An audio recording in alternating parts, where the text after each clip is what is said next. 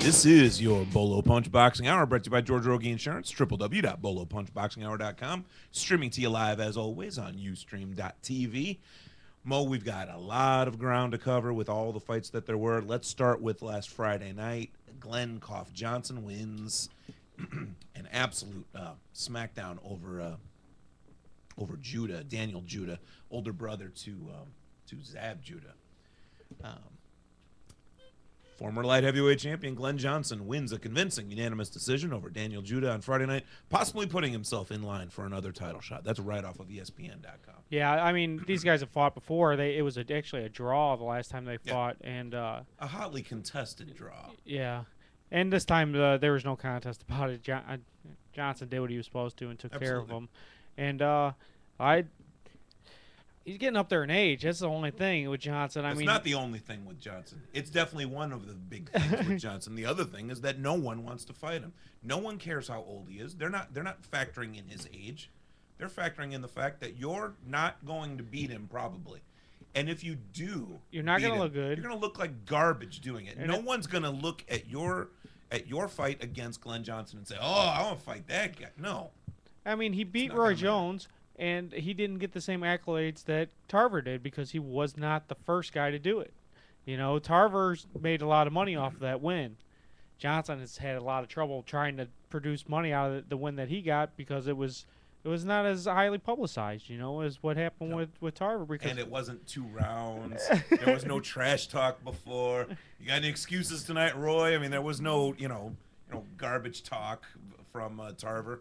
Um, Johnson came in, did did his job, and left. I mean, Yeah, he says that he thinks he's uh he thinks he's the number two tar- uh, uh, light heavy. He thinks that Hopkins is number one, and uh, he thinks that he wants to fight.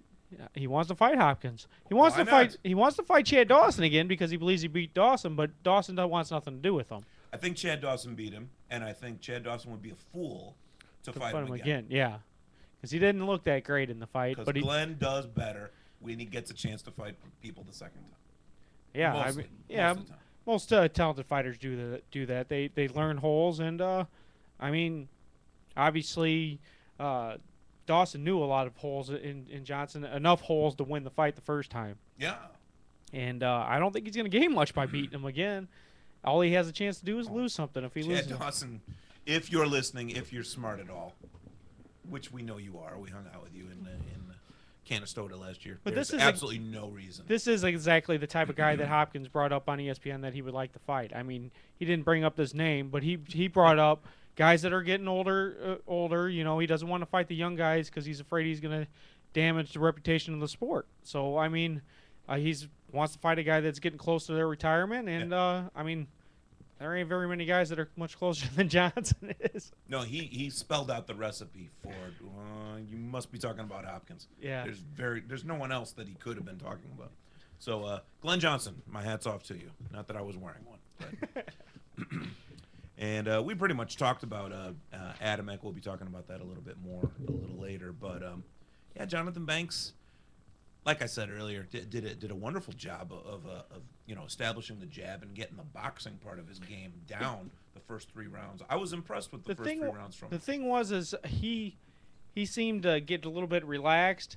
Adamek kind of brought him into that brawl. You know, that's what Adamek does. He gets you going, and you think that oh, I could take his shots, and then all of a sudden he hits harder than what you think he was. He hitting. takes bigger punchers and spins them around to where they don't know what's going on. And then the little cartoon with the little birds and the stars spinning around.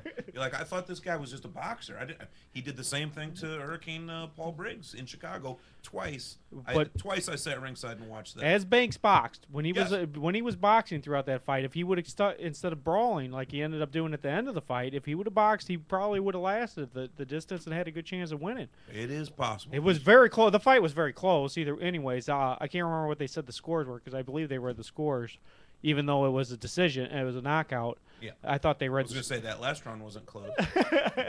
but uh, once it went up to that flurry that caused the stoppage, it was close. yeah, and uh, I don't know. Banks did pretty good. I think he's still still uh, held in pretty high regard in in the cruiserweight division.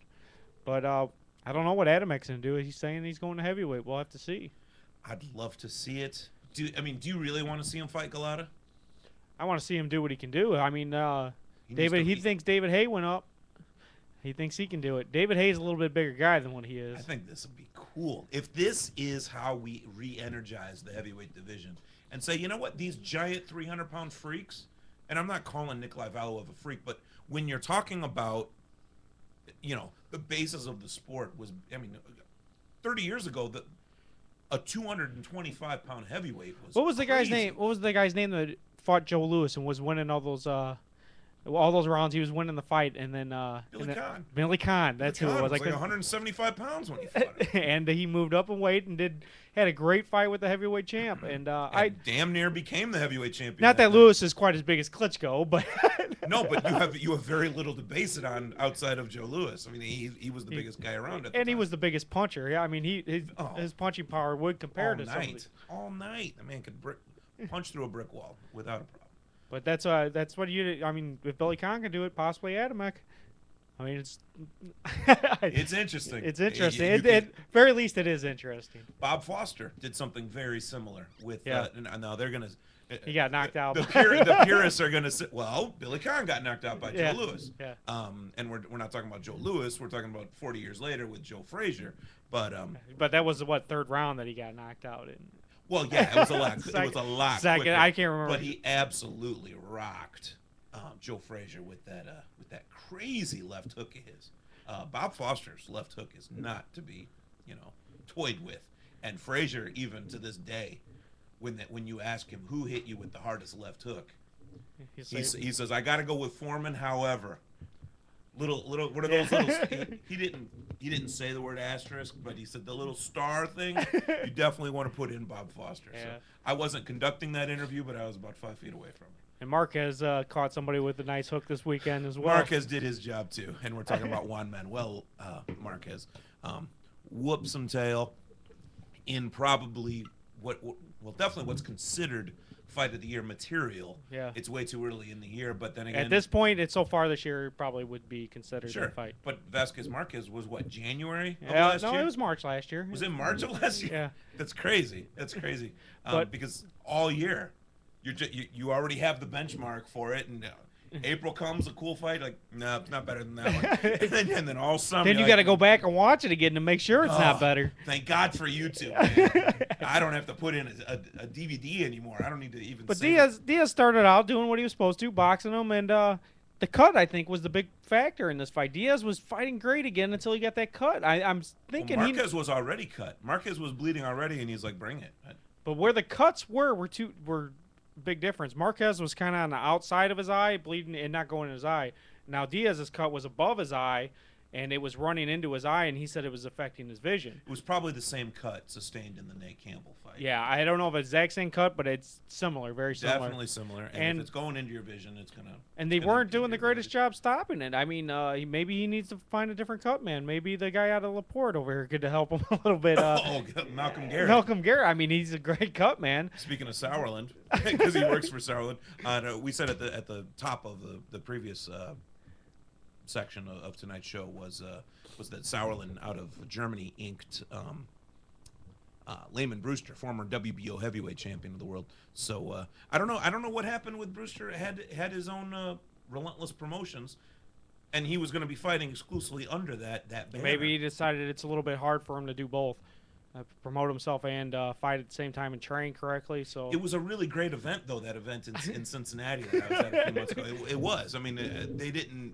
understand a couple of key points, like getting a place for press, um, you know, letting us sit down, things, things of that nature. But the, but the event itself was awesome.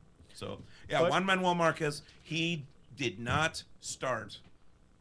You, you, nailed it. Yeah, with, he- with your pick last week. You yeah, I said nailed it. Diaz. Usually, what he does is he wears the guys out, Yeah. and uh, he'll start hot and then wear the guys out, and then he can continue through that. But Marquez's thing is not to start real hot Yeah. and finish up strong. And uh, I mean, you seen it with Pacquiao. They actually talked a- quite a bit about it during the fight. Uh, Sure.